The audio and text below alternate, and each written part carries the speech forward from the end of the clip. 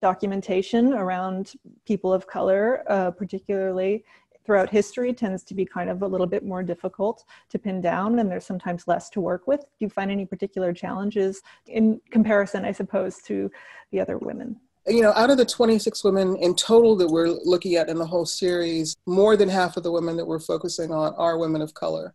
Mm-hmm. Um, but each of these women, I guess, pose, uh, you know, kind of different challenges in a way.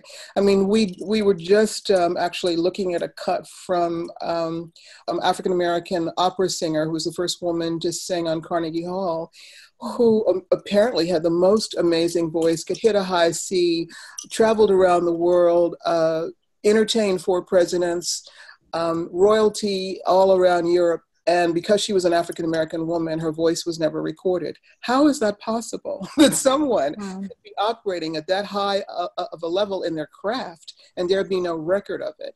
So I think that the one thing that we are realizing and coming squarely face to face with is, as you said, for women of color, unless there were other women of color who committed themselves to documenting those stories, we would not have a record. So we feel as if that the work we're doing really contributes to that historical record to make sure that these stories get to live on.